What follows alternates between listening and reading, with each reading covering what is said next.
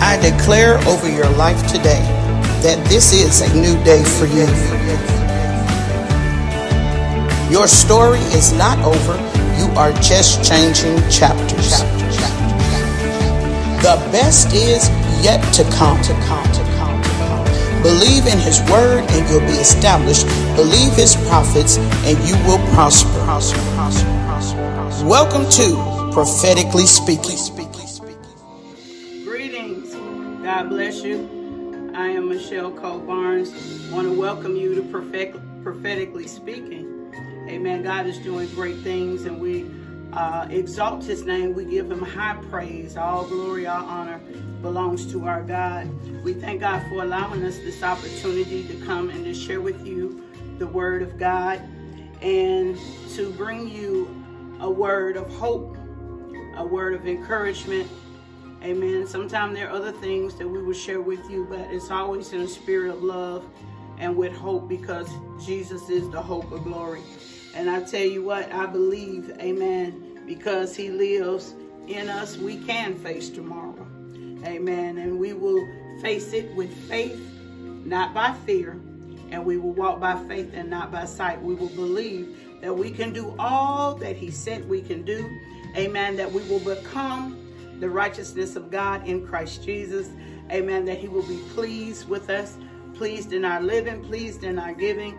Amen. And that when it's all said and done, we want him to say, well done. And that's that's my desire. That's the cry of my heart that I have pleased him and that I have done what he told me to do. And when it comes to speaking the word and proclaiming the gospel of Jesus Christ or speaking into people's lives, I take that very seriously um, because I know, you know, uh, the weight of it.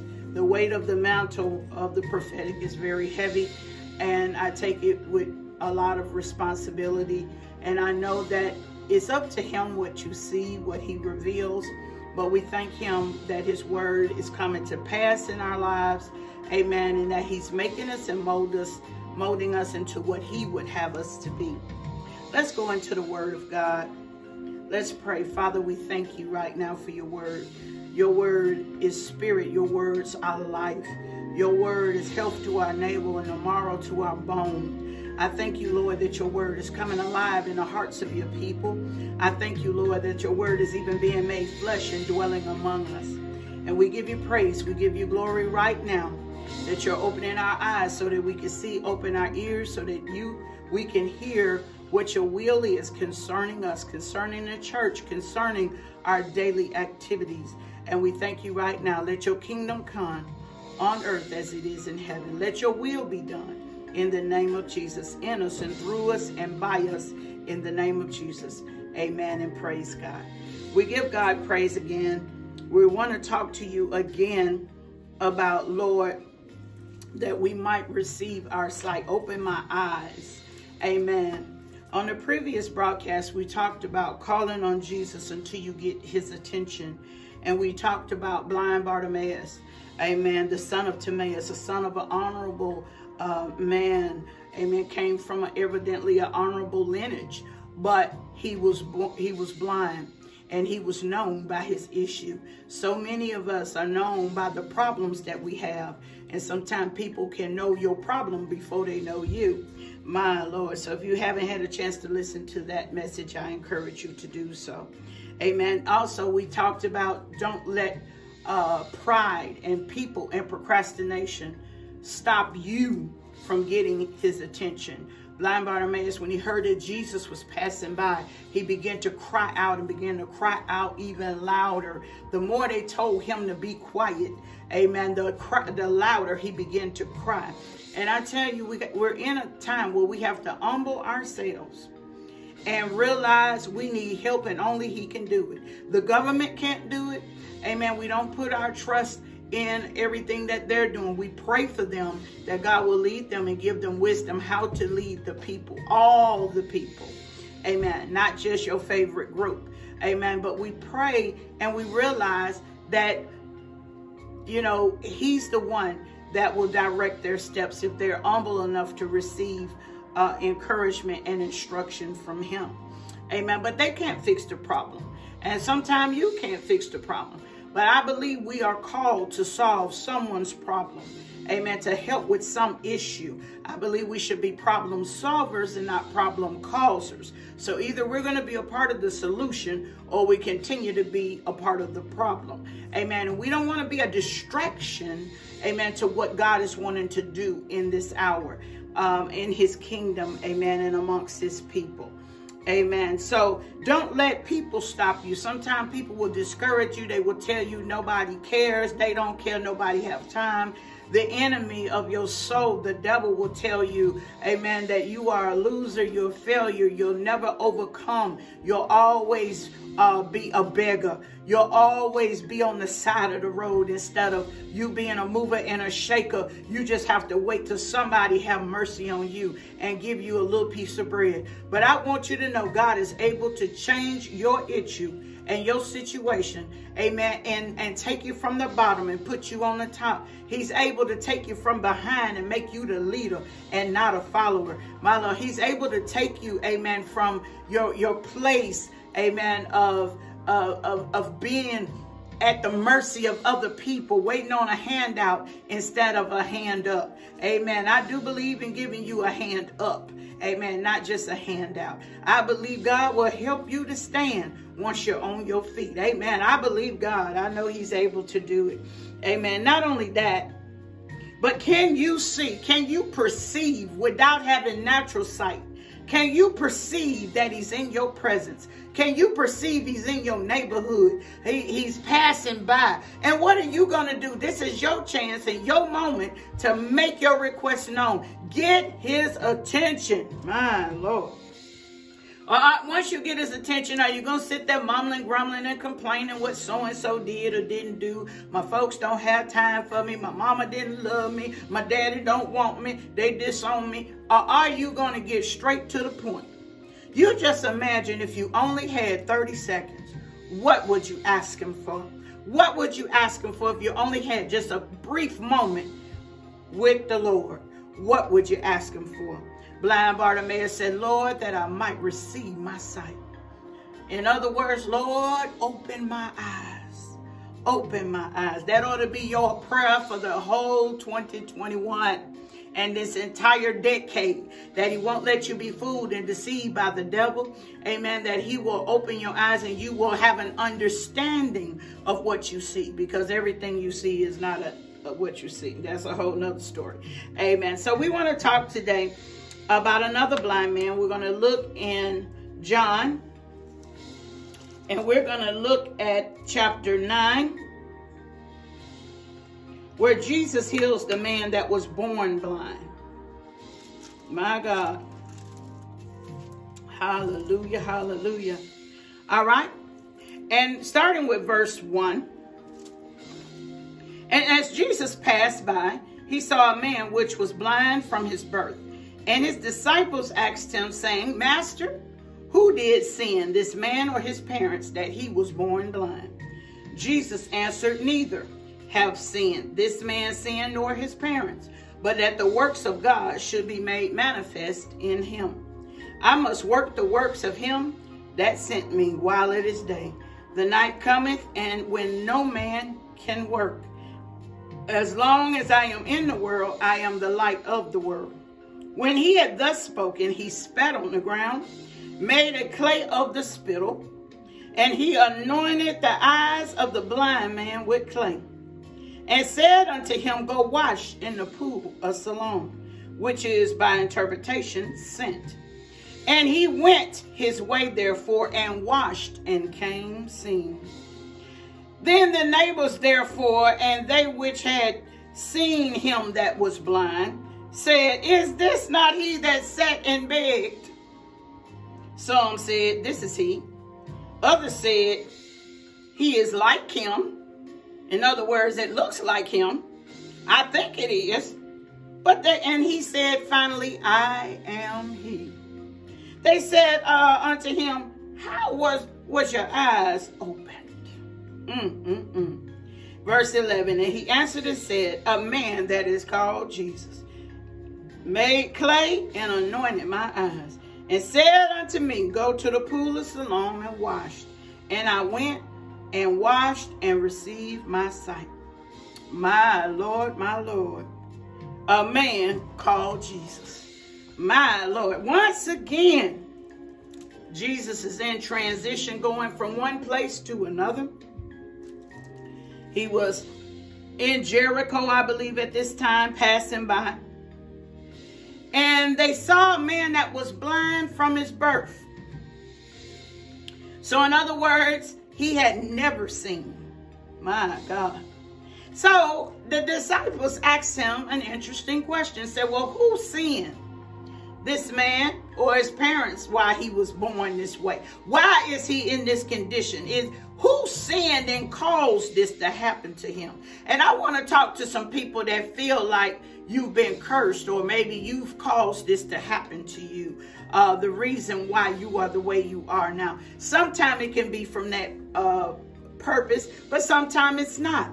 Amen. Sometimes you got to realize, amen, could it be that is for the glory of God? That you be healed, that you can turn this test into a testimony, your mess into a miracle. My God, God is able. Amen. So Jesus answered quickly and said, Neither this man having sinned nor his parents but that the work of God should be made manifest. Some of the tests and some of the trials, some of the tribulations you are going through even right now is so that God can be glorified by bringing you through and bringing you out. And therefore you have the testimony. I was sick, but I was healed. I was blind, but now I can see. My Lord, my Lord. And then Jesus, after he got through talking to them, he said, I got to work the works of him that sent me. I want to talk to all the preachers and pastors, apostles and teachers and pastors that may be sitting on the sideline. You feel like nothing is happening with your ministry. Everything has changed. And I want you to know it's time for you to work the works of him that have sent you. It's time for you to get up, amen, and be about your father's business. Amen. And that is doing the works of your Father. Amen. And then Jesus said, Greater works shall you do. Amen. To heal the sick, to raise the dead, to cleanse the lepers. I mean, all of these were things that Jesus did. My Lord, my Lord. So Jesus heals the man that was born blind. My Lord, and we know that there's people, amen, that have never seen. And there's some people need their vision corrected, and so they wear glasses or contacts. I've told you the story before about how I went uh, to the eye doctor after some years and I thought my eyes had changed some and I just popped in the chair and I said, oh, doc, my, my eyes have changed a little. And he was like, mm-hmm, mm-hmm. And finally he said, Miss Barnes, your eyes have changed a whole lot. And so when he started telling me, I was like, what? I was so surprised, amen, at the results from the eye test and everything. And it let me know uh, that I was nearsighted. Well, let's talk about that real quick. Nearsighted means you're unable to see, clearly unless things are close to you. My God. Hallelujah. Or short sighted, some people might call it, meaning it's blurry looking at a distance. Hallelujah. So you see, you're not, you're unable to see things unless they're right in your face, unless they're close or near to you. You also can be farsighted. Farsighted means you're unable to see clearly unless things are far away from you, but you fail to see things that are right in your face. My God, my God. Hallelujah. So you can see at a distance, but you can't see up close my Lord, as clearly as you need to. There's different types of blindness. Uh, there's blindness where you do see some things, but because your sight, even nearsighted and farsighted, is not what it should be, you can be declared legally blind. And sometimes that's because of the uh, the amount of light sometimes that come into the retina my Lord, or the optic nerve. So when, when you get to talking about blindness, sometimes people will be partially blind. Amen. Sometimes they see good in one eye and nothing or very little out of the other eye and can be declared legally blind. And there's some people, they see shadows and they still see glimmers of light, but they can't see very clearly.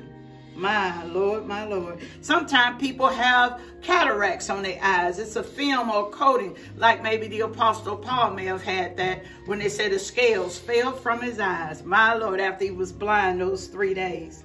Amen. So we, we look at how that Jesus heals this man, amen, by the pool of Siloam. He told him to go to the pool after he had spit on the ground and he took the mud and he made uh, the, and the clay that he made and he put it on the man's eyes. And I was laughing when I was preaching this the other week. I said, now all you nice nasty folks, he would have lost you right there. Now, you said, Jesus, now you're to heal me. Why don't you just speak to me? Okay, Jesus, if you're going to heal me, why don't you just touch me? Okay, we could deal with that, just touch me. But now, because of the pandemic, we're not touching too many people right now. But more or less talking about somebody spit on the ground and made uh, and made clay out of the dust in the in the in the mud and put it on your eyes and then told you to go wash in the pool of Siloam. Some of us fail to follow instructions. Now, will you miss your opportunity to be healed because you're trying to tell God how to do it? Uh-oh, I'm talking to somebody. Somebody trying to tell them how to fix your problem, how to fix your issue. If you know how to fix it, we wouldn't even be talking about it. Hello? My Lord, sometimes you got to stop trying to tell him how to do it and finally just submit it to him and say, Lord, any way you do it, it's going to be all right. Lord, just do it. Just do it. Just heal me. My Lord, just make me whole. He got a prophet, uh, uh, uh, a process to it. Amen. And in this case, the healing was a process. In this case, when he did what Jesus told him to do, he found out that he was healed. The Bible said he didn't ask Jesus no questions. He didn't he didn't go through the why I gotta do it like this and why you didn't do me like you did this other man. I heard you just spoke. I heard you just told him to go and the man's eyes was open immediately. But you know what this man did? He was smart enough and wise enough to say, I'm not asking no question. The Bible say immediately he went to the pool of Siloam and he washed like Jesus told him. And when he washed, he got his sight. My Lord, immediately his eyes was open and he could see things clearly. My Lord, I was blind, but now I see. Can you imagine the testimony of this man who, all, who again had to rely on other people leading him around, had to rely on other people helping him, had to rely on people leading him to, to be beside the road begging and asking for help. My Lord, and now you are able to get it yourself. My Lord, my Lord. So when the people heard and seen, said, now, ain't that, that fella that be on side the road every day? Yeah, that child, that look like him. No, I don't know, but it do look like him. He was blind the last time I saw him. My Lord, you know, some people want to beat you telling your story. but this time, give them something good to talk about. And, they, and he said, well, I am he. He admitted it was him who was blind. But now I see. They said, well, how, how is it that you can see us now? Now, what, what happened? They want to know the story. And he said, a man called Jesus made clay and anointed my eyes and he told me, go to the pool of Siloam and wash. And I went and I washed and I received my sight. My, my, my, my. I received my sight. How many of you are glad that you can receive your sight? Amen. Whatever your situation, whatever your circumstance, he can open your eyes so that you can see. Open the eyes of your understanding that you can perceive correctly. You know, because uh, when I was talking about me going to the eye doctor and realized that there that there were certain things uh, that was causing me uh, not to see as clearly as I needed to. And when I got those glasses, I was like, my Lord. Woo, thank you for protecting me. Thank you for covering me. Oh Lord, I thank you because you realized you wasn't seeing everything as clear and sharp or as close upon you or far away as you needed them to. My Lord. So when I got those glasses and I put them on, everything, I mean, just looks so different. My Lord. And I thank the Lord. Hallelujah. So now we have Jesus. He have healed a man by just speaking. Now he's healed this man by spitting on the ground, making some clay, putting it on his eyes, and told him to go wash. Now you say, oh, but why he had to do that? He could have just, listen, you the one need a miracle. You the one need the yoke destroyed. Now, how you gonna fuss about the process instead of you just being obedient, huh? Why don't we just submit? Submit to the will of God. Stop trying to be proud and cute this man, I don't think he cared about that. All he wanted to do was to see, just to see again. My Lord, hallelujah, glory to God. So look at this. I got a few points I, I want us to talk about. My Lord.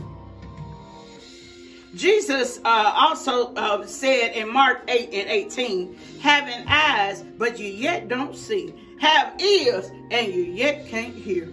My Lord, my Lord. The disciples followed Jesus, and sometimes they were nearsighted. My Lord. So they can see much clearer uh, uh, about who he is and why he even came to earth.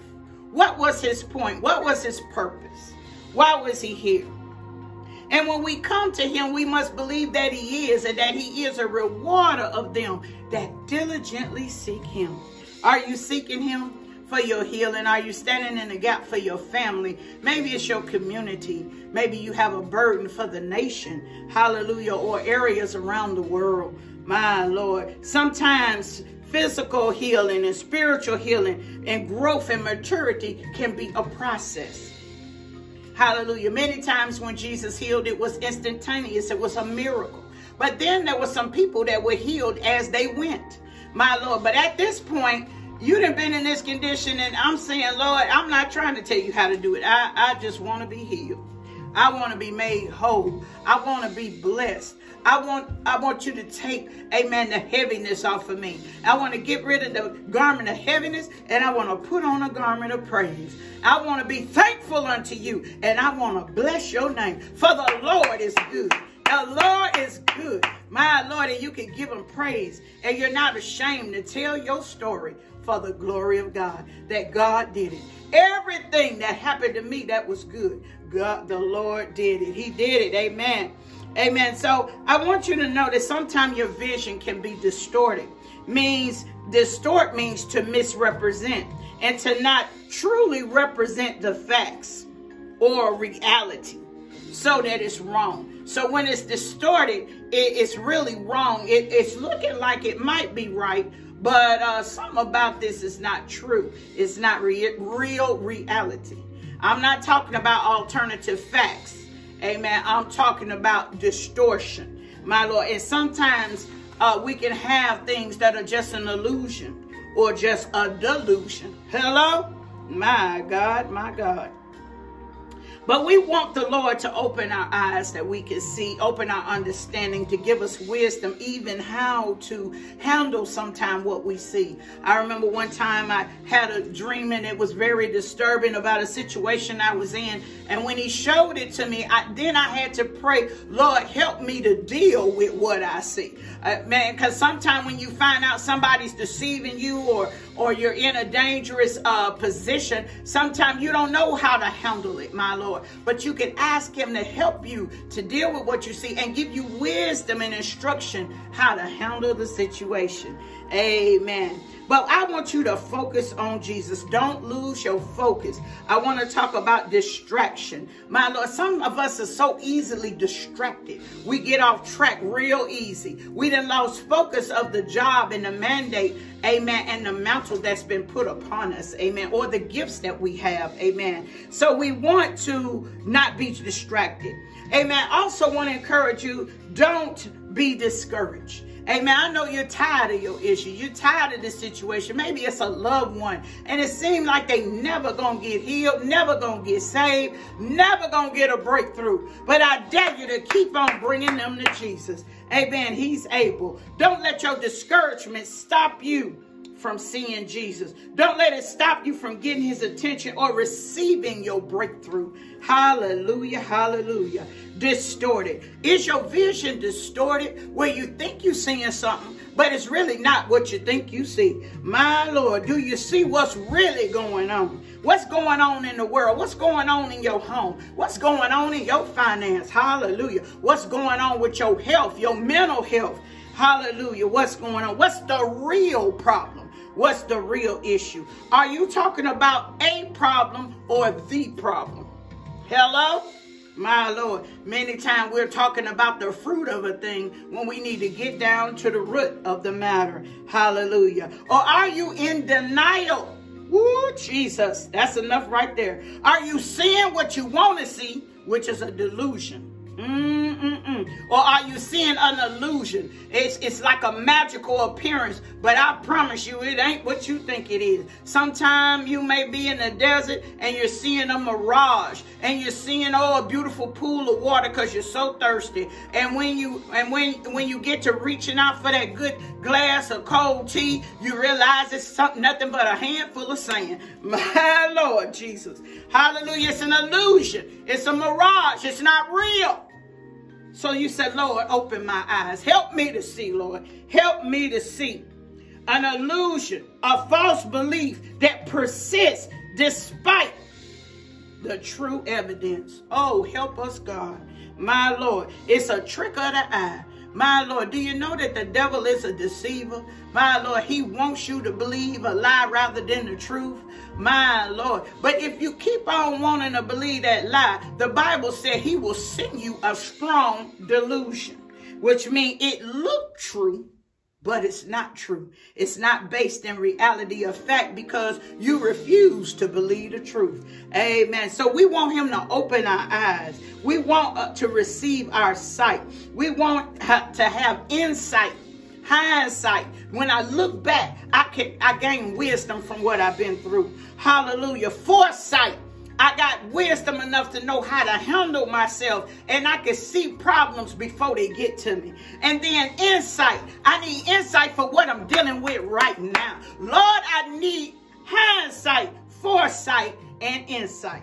My Lord, did y'all get that? Amen. Hallelujah. But now I can see clearly my Lord, I'm free to follow Jesus. Where, where is the change? How dare we get that close to Jesus and we remain the same? Don't remain the same when you come into his presence. My Lord, how dare we say we have been in the presence of the Almighty God and we still got a funky attitude? My Lord, we still got a nasty disposition. My Lord, yet we say we love the Lord and we can't stand our brother. Oh, can you see yourself the way you really are? My Lord, and the way he sees you. Can you see other people through love and compassion and mercy? He said, with love and kindness have I drawn thee. My Lord, some of us need the scales to fall off our eyes so that we can see. Let's pray. Father, in the name of Jesus, I pray this word be bound to our mind and heart that will be in forever remembrance of your word. We thank you, oh God, that you are touching our eyes. And as we wash and are made clean, you're opening our eyes that we may see. You're washing us with the water of your word. And I thank you, Lord, that you're opening our eyes, that you're giving us foresight. We can see it a long time before it comes. We're having hindsight. We can gain wisdom from what we've been through. And you're giving us insight right now to know what you would have us to do in the situation we in right now. Open our eyes, Lord. Open our eyes. Jesus, son of David, have mercy on us and open our eyes so that we may see and give us wisdom and understanding and help us to accept the truth and let the truth set us free. In the name of Jesus, we thank you, we praise you, we give you the glory, we give you the honor, we give you the thanks right now for opening our eyes. We thank you right now for restoring our vision, opening our understanding, giving us wisdom and knowledge to go in and out before your people. And we thank you for it right now, and we give you praise in the name of Jesus. Come on and thank him. Come on and praise him. Hallelujah. He's worthy. He's able. Hallelujah. To deliver, to heal, and to set free. My Lord, believe the Lord. It said, believe his word, you'll be established. And believe his prophets, and you'll prosper. This is prophetically speaking. God bless you, and may the Lord open your eyes.